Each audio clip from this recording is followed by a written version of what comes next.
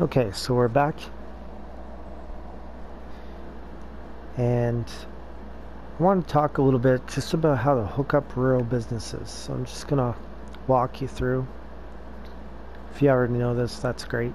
Okay, so if we go way up here, see Portland has a brewery and a meat industry. Okay, so they need on the far left underneath there of those two things that I have highlighted, you'll see the first one needs wheat and the second one needs beef, okay?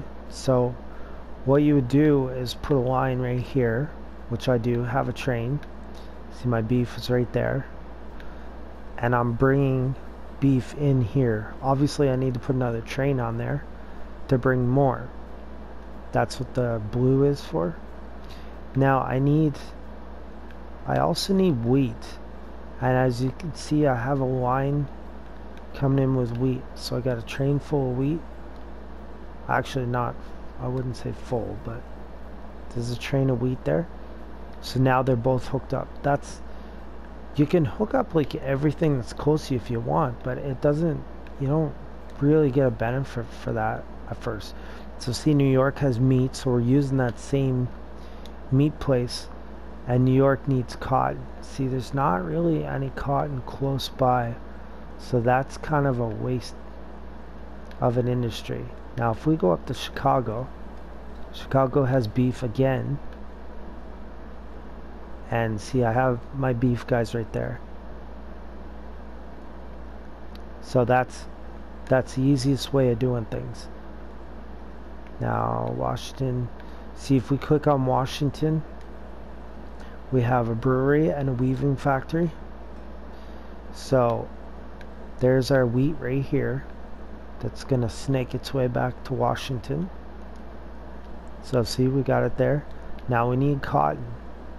Our cotton is way over here. Okay, so we need we need to hook that up. If we don't, if, I don't know what that was.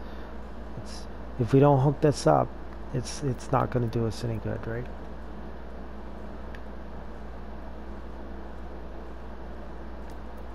So we could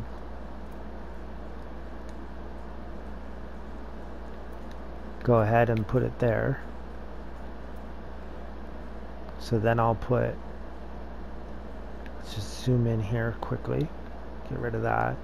I'm going to go ahead and put a maintenance shed in because it's, it's kind of far away and I will put supply towers too. Okay let's go with the expensive. It is food that I'm bringing. Okay so we just grab that there and then we'll grab it over to Washington.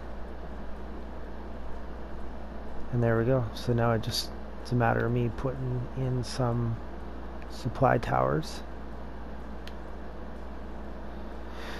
The thing to know about supply towers is they need to be ever so often and you can't put them on a bridge. So you don't want to have massive bridges. And just one supply tower is probably not going to be enough. See here we got our train going there. See it didn't take long did it? Now I should probably do more than one. But for now that gives you an idea right? See how the gears are moving? On the brewery, but they're not moving on the factory. Problem is, factory needs cotton. It hasn't gotten there yet. Once it does, you'll see you'll see the gears start to move. So if I just speed this up, we get our train over there quicker. You'll see what I mean once they get. See, gears are still working on the brewery because it's making, it's got lots of wheat. Now the weaving factory doesn't. Okay. Alright, we're still...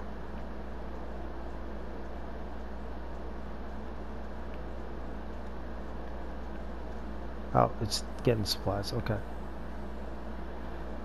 Just being a little slow, that's all.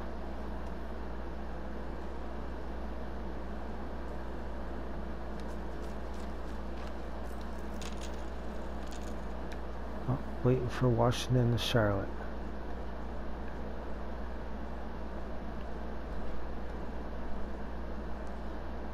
Nah, we'll just ignore that for now. That doesn't help with the video here. Okay, so now that that guy got out of the way, we're gonna come in. I, in reality, I should double train track that, and I will later. Okay, so watch this. See the gears are still moving on the left. Not super fast though.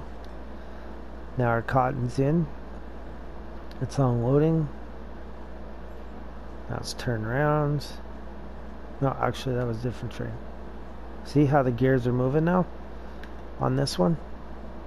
See? Moving not too bad, right? This one here is a little slow. So I probably should put another train on that one. Okay? So now that's going to make money. So that just gives you an idea and it's the same for any any rural industry. You could like hook up this for instance which I, I have a station but it's mainly there to get the wheat. If you if you just send this in there's no demand for it right so nothing old. they're not shipping in in that.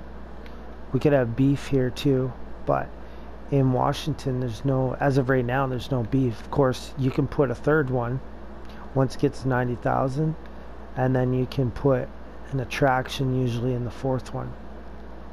Okay but you can if you just hook up everything just willy-nilly it's it's not really going to benefit you a whole lot.